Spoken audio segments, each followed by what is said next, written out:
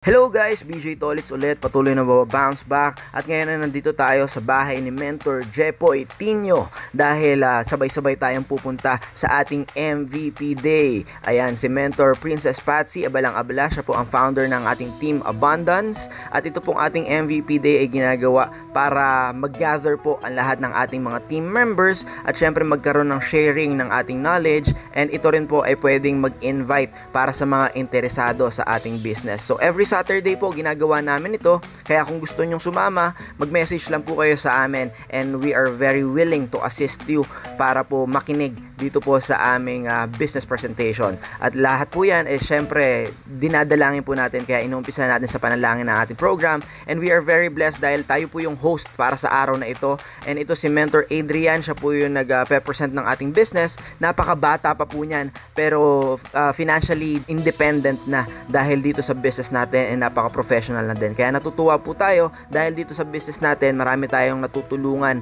in terms of personality development. Ayan naman, si Mentor Nico mag-share ng kanyang uh, best practices dito sa business natin. Alam niyo po, ang napakaganda talaga dito. Very generous yung ating mentors in giving knowledge sa nalalaman nila sa negosyo para step by step is talaga matututunan natin kung paano nga ba to gawin.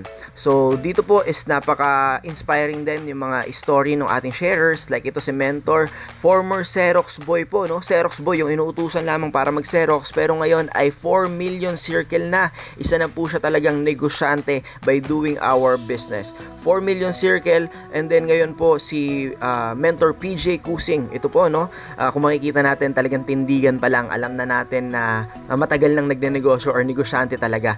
Pero napunta po siya dito sa ating uh, negosyo dahil po doon sa ating product. Yung ating pong product na barley kasi natulungan po siya para gumaling po sa kanyang cancer.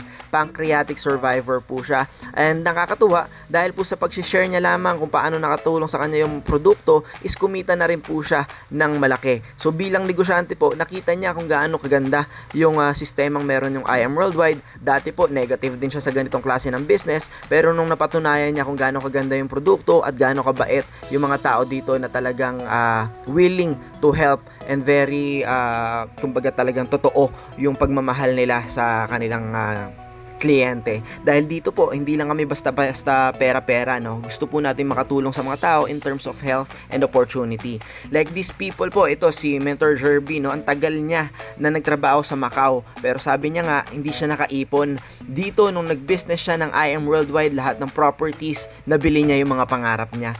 And same with Mentor Princess Patsy, uh, very generous in giving knowledge dito po sa ating negosyo. So ayan, lahat po na nakikita ninyong kasama ko dito po sa may bandang harapan, no? Magpi-feature kasi kami niyan. Lahat yan is Millionaire Circle. So lahat po sila is mga milyonaryo pero, pero very humble para po sa mga nag-uumpisa pa lamang sa negosyo. And then right after po niyan, culture natin na after ng ating activities, magkaroon tayo ng uh, uh, small talks per team para mapag-usapan kung ano nga ba yung natutunan, ano yung takeaways doon sa ating mga sharing. This is for our personal growth lamang din. At syempre, kailangan natin ito para tayo ay maging hasang-hasa sa paggawa ng negosyo. Salamat po, no? Shoutouts kay Mentor Mirasol sa kanyang uh, palibre na nugget sa atin dahil nagustuhan niya daw yung hosting natin. Ito po yung mga uh, kotse na akala natin sa movies lang makikita pero by doing our business yung mga mentors po natin uh, nabili na po nila yan no? Pangarap lamang pero ngayon is uh, nagma-manifest na ito reality. And then after po niyan pumunta tayo dito sa ating IM Worldwide office. Nakita natin dyan si Mentor Mark Tamayo. Nagpa-process din siya ng orders for our team. And then tayo din po, nag-process din tayo. Ito yung office natin, napaka-cozy, napakaganda. And very techy na rin po, high-tech yung ating pagpa-process ng orders via online payment. Pwedeng pwede po tayo dyan. And very assisting din yung ating mga staff. So, ayan po. After nyan, nakuha rin natin agad yung product at ipapaship na natin yan via our partners. Yan. Papunta po yan sa Antipolo yung ating in-order for today. So, after po nyan, training tayo with Mentor TJ. So, pakinggan po natin dahil dito talaga kami natututo sa aming business. And ayan, simula na po ng ating training proper. Ito po si Mentor Krishna Venancio. Grabe yung BMW C4 niya, no?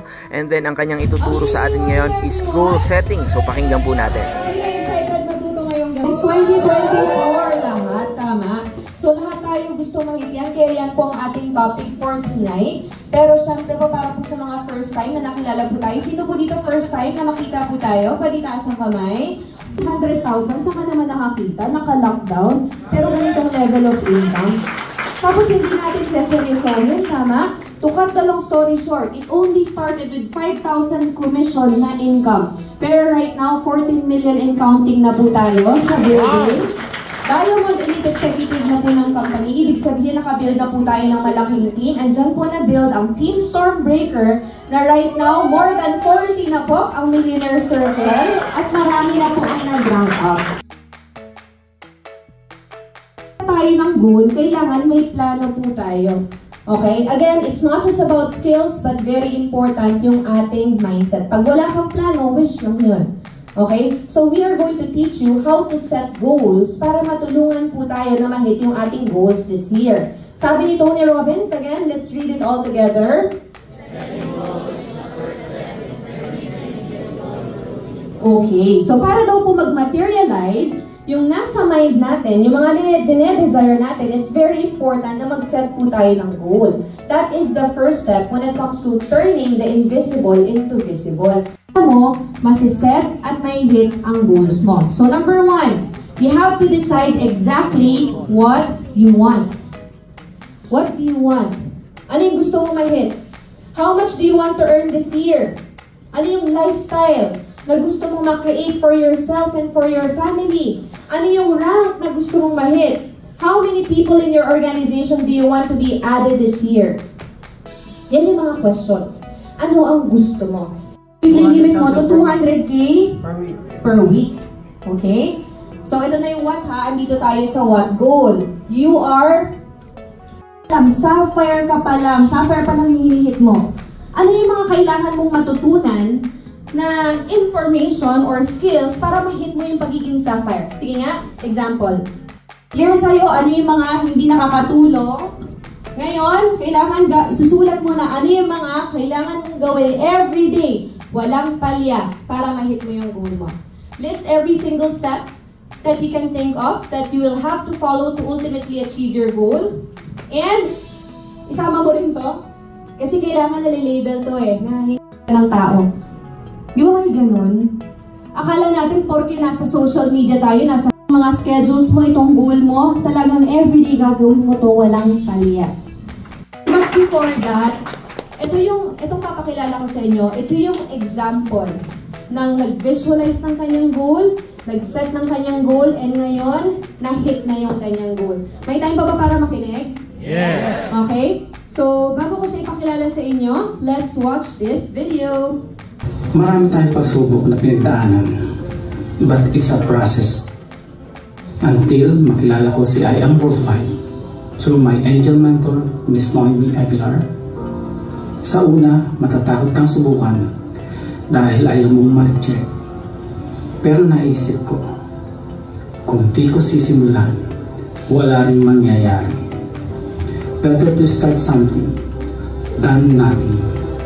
Amazing, Amazing morning. Amazing morning. So, my name is um, Serafin Cordova Jr. and um, isa po akong uh, OFW and ginagawa ko po si I Am Worldwide as uh, part-time. Uh, through my angel mentor, Miss Noemi Aguilar. And um, dahil nga po tayo ay ano, uh, na-bless, no? And uh, napakabait po ng aming angel mentor. And akala ko as in uh, product uh, user lang tayo, no? Thank you, and my name is uh, Serafin Cordova Jr.